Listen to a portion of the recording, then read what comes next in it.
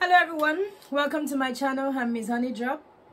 I'll be talking about the importance of uh, shadow work before your initiation gets done. But before I go into it, let's see how is everyone doing. I hope this video meets you well. It's been a minute. I haven't filmed, so yeah, it's good to be back filming today. If you're a returning viewer, welcome to my channel. And if this is your first time, welcome to my channel as well. Make sure you subscribe and like the video and share with your loved ones before you disappear. Right, let's get into it. What in God's name is shadow work? You'll be wondering, that is if you have not heard the word before. Okay. Shadow work or shadow aspect. To put it simple, is the dark side to us. When I say us, I mean every single human being has got it. Even those who act like saints, they've got a dark side to them. Even psychology proves that. We all have a side to us that we want to repress, the side we don't want to show, the side we want to hide from the society, from our loved ones, even from ourselves sometimes. I mean, uh, there's a quote in the, sorry it's not a quote it's actually a scripture that says uh, the heart of man is desperately wicked. Who can see it? Who can know it? I can't remember how it goes but the point is there is a side to you that you yourself doesn't even know yet. I mean getting to know you for you is so important. And also not just knowing who you are but healing aspects of you that has been damaged by virtue of the things you've gone through in your life or just societal mess in general you know. And then the thing is the the, the unconscious mind it, it has a lot of strong um impact on forming who we are our emotions our behavior um you know everything our thoughts. It's it's what helps us rea react or respond in a certain way. You'd find that certain people would uh, yell at someone and on a normal day someone like i've never seen him act like that before.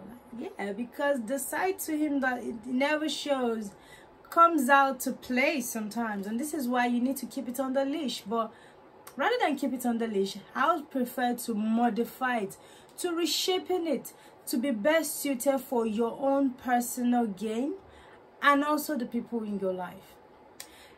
So now that we've been able to explain what shadow means, shadow work means, or your shadow side means, what is shadow work? Now, shadow work is working on yourself.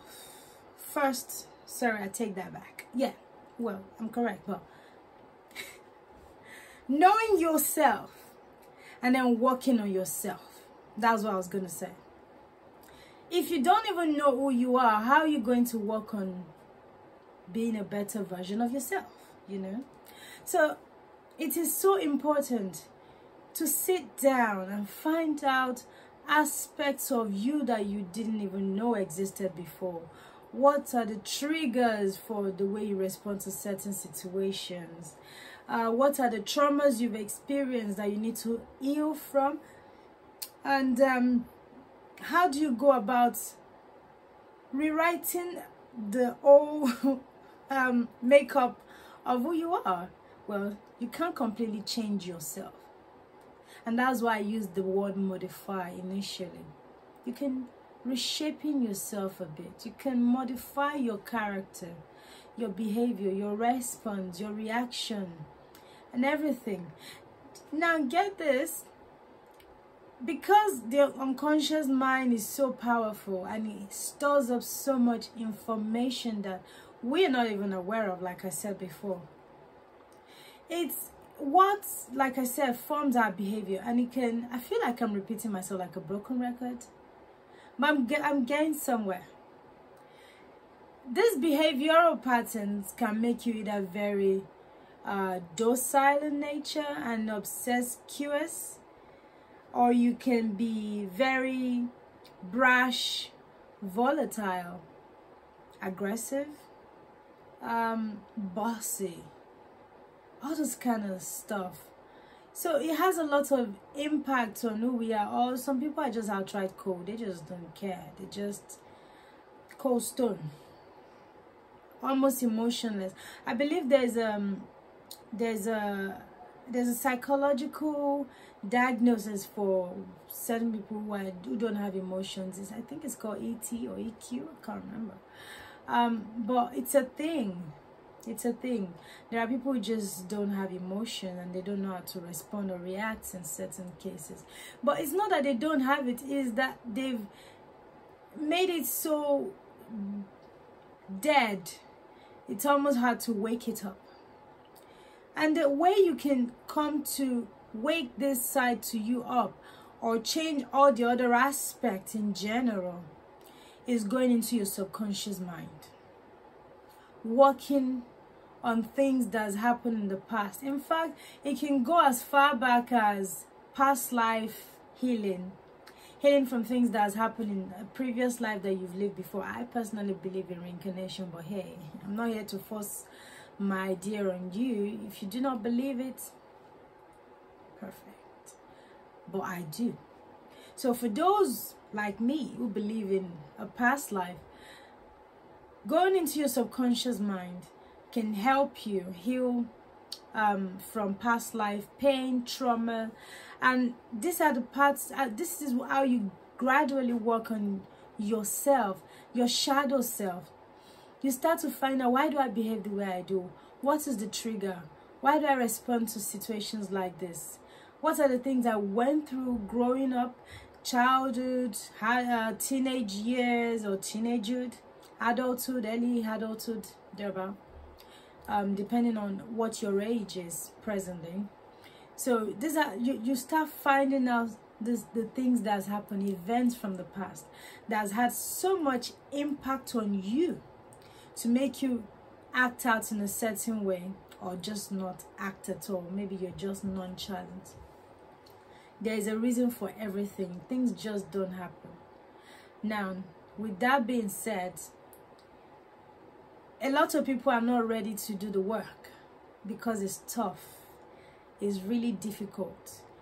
But not doing the work also affects you when you go into initiation.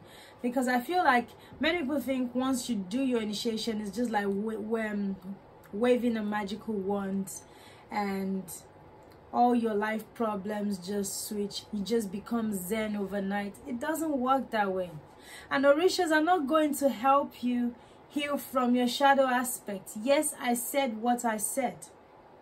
If anything at all, if there is any category of entity that would help you heal from your shadow work or your shadow sorry go for your shadow work and heal from your shadow aspect i'll say it's the ancestors because they have you they carry your bloodline you have their genetics their dna within you they can guide you to know the certain mistakes that they made in their lifetime so that the patterns doesn't repeat itself again. You literally put a stop to continuous cycle or trauma or patterns and behavioral uh, you know sequence in a family. As you heal yourself you heal your womb all your you know the masculine side to you. But yeah it's not just women alone. Men carry trauma women carry trauma. And it, when you come together and form a child it passes on through epigenetics and all that kind of stuff. I spoke about it in um i mentioned it in my ancestor video. So go look for my channel and you'll see it. So when you heal from it, it reduces the amount of trauma that is passed on to your children. So that way you're stopping some repeated history from carrying on. So if anything, your ancestors will be your best bet to help you heal from uh, trauma, to help you go through your, your shadow work, the dark night of the soul, to better put. orishas are not going to help you heal overnight. They, they don't. Initiation is not going to change who you are. You're not going to become zen overnight. If you're an aggressive person, you carry on, carry on being aggressive even after you get initiated. If you're a very docile person who people just walk all over, you've turned yourself into a carpet. Well, it will carry on. If you're someone who, who has insecurities, who has abandonment issues, I'm still going to make a video on that one actually. Um, it's not all to change overnight. So it's important that you walk through this before you go. In fact, doing your shadow work before getting initiated allows you to be ready for the kind of power that is being handed over to you, transferred to you. Am I making sense? He allows you to be able to carry it properly and be able to execute the work that Orishas are now going to ask you to do, or Ifa in this case, you know. But when you haven't gone through it, sometimes you, uh, how do I put it? I don't want to say damaging, but it would affect your efficiency, the efficacy of the assignments that you've been given. Healing from your past trauma is not the purview, is not within the purview of the Orishas, is not what they're there for. They can help you, they can guide you, but you have to do the work. You can ask for their help, but you still have to do the work yourself. Ancestors can also guide you, but they're not going to do it for you. So you need to do the work yourself. And the more you heal your, your trauma, your your pain, every whatever the thing you've gone through and moving on from it, cutting etheric cords, you know, just doing a lot it's a lot it's a whole lot of process. But the more you do it the more you help yourself. You make yourself ready for what you're being called to. You also stop traumas from passing on to the next generation. So it has a lot of benefits.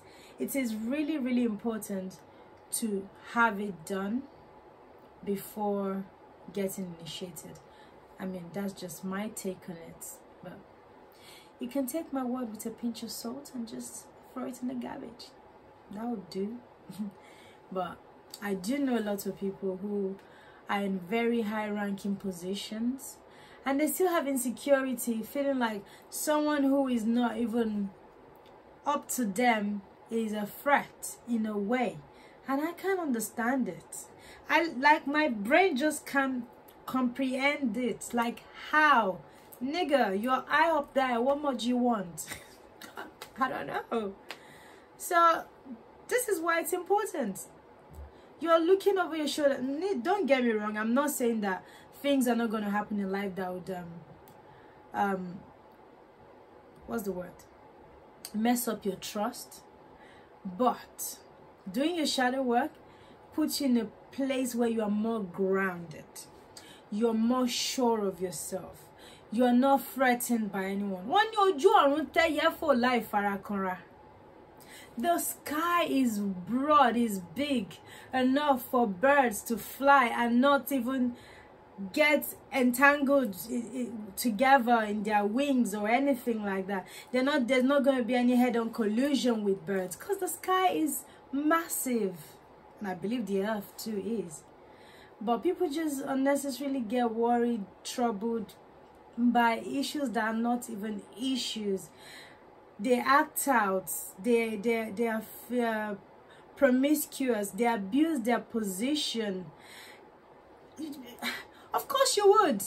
With a lot of power comes a lot of responsibility and a lot of people don't know how to wield the power. If you do not curb your bad habits you're going to start misbehaving. Because now you've been given something so authentic and so powerful. So much authority. And you have the willpower to do whatever you want with it. Well not do whatever you want. Because you still have to answer to the Orishas. Knowing that you cannot misuse your power. But some people still do. Not because they want to but because their their um lack of discipline overrides humanity overrides who they are, overrides good character. It overrides the iwa pele, which is what Ifa calls us to, to show in our everyday life. Anyway, without wasting too much of our times, I'm just going to go straight into the benefits of what doing your shadow work can do for you. Now, doing shadow work, it brings about great awakening of you, of yourself. You go through a major awakening, a whole lot of shifts. Um, you get to see things you never saw about yourself before. You open your third eye, even in most cases, because trauma uh, can also block us from from having dreams or sorry from remembering dreams because we are always dreaming anyway. It's just a case of people forgetting and assuming that no i don't i don't dream. No you do. Awakening of changing your thoughts pattern your shifting your perspective. The way you approach matter the way you see things in life the way you the way you say uh, say certain things the way you judge people or not judge people it's a whole lot of shifts that will happen for you. It's going to change many things that was hindering you as well. I mean it you can't put a price on it you know? And then number two it helps you go through a lot of breakthrough and breaking free. Honestly by the time you go through a whole lot of decluttering process healing from trauma you feel like a brand new person you honestly feel like a brand new person because you just find that there are some things that you never thought you could stop doing that you actually stop doing effortlessly.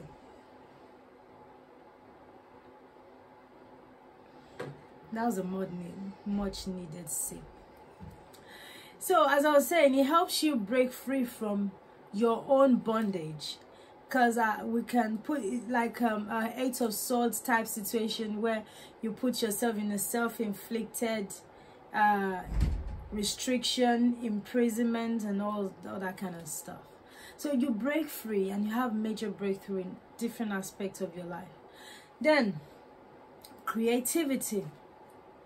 You become more creative. You see life in a different way. You see colors where there was darkness. You see beauty where everything looked very ugly and bleak and lifeless. Everything just comes alive to you. You break free from addiction. I mean when you go through a lot of decluttering and healing and everything like that the things that you never even thought about will start coming to you. Your mind opens up not just that your third eye is opening up and you are more sensitive and more receptive in terms of um, your your spirit your aura but you become more aware. You have new ideas. You see things clearly. You communicate clearly. You you start to take your power back things you never thought you could people you never thought you could confront you really call out their bs and put them where they should be. Like listen sit your ass down. Don't talk to me like that if you're a docile person. And if you're someone who has always been aggressive you learn to approach matters calmly rather than nagging your way through life or going into a situation like a bull in a china shop. It is not going to always work like they say, emotions win argument, but emotions don't win war. So if you want to go through life winning, you have to really change a lot of things about yourself. Number four, it allows you to overcome self-limiting beliefs where you think, uh, I'm not good enough, I'm not pretty enough, you know you overcome uh, all this body shaming. It's a whole lot of things. It's not even just one thing. I can go into tons and tons of things that it's advantageous to you going through this. Your self-confidence improves. It increases. You realize that things you never even thought in a million years that you could achieve will become less effort achievable. You literally put in a little effort for next sake. That pipe. Oh. yeah. Just, I, I can't help myself. I, I, I don't like noise. I'm very finicky like that. So you, you start helping yourself to come out of self-limiting beliefs things that you thought oh no it's not achievable it's not mm.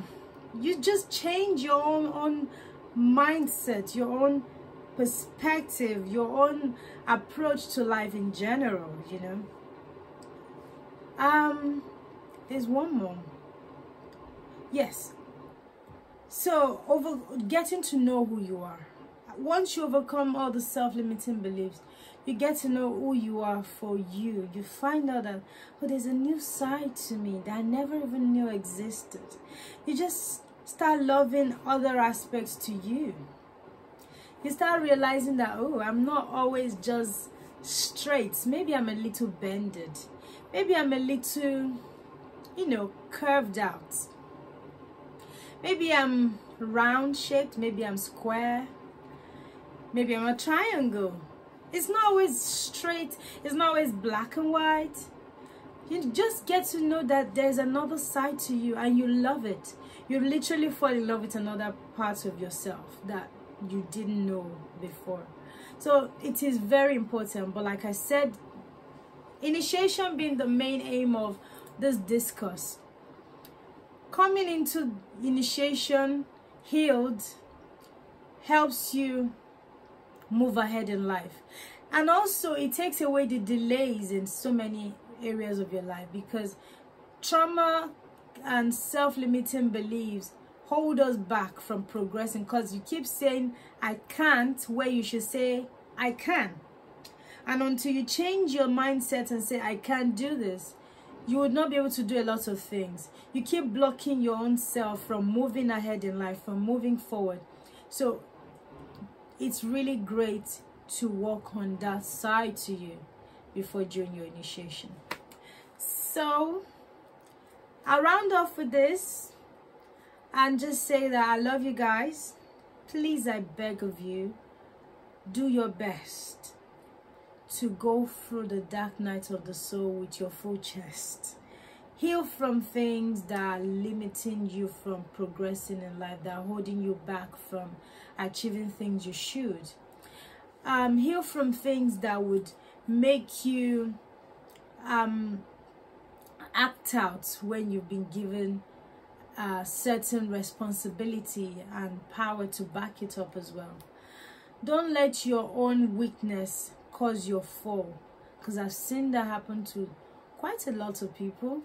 Um, things that they could have just dealt with before coming. It's kind of like what you call, what you can say, um, the back room job, the backstage of your life before you are presented on the stage. You don't want to go on the stage and mess up. You really want to go all, all out when you're ready and know that you're, you're, you know what you're doing you don't want to get on the stage and start to stutter and forget your lines if you're making a presentation or you're doing a drama for instance something along those lines i'm just using that as an example for you to see where, where i'm going with this so do the work in the backstage now so that when you're put in the forefront on the stage for the world to look at you will not embarrass yourself have a blessed day. What was that? have a phenomenal time. And make sure to come back on my channel. And I'll see you another day. Take care of yourself. And goodbye. Oh wow. Bless my soul.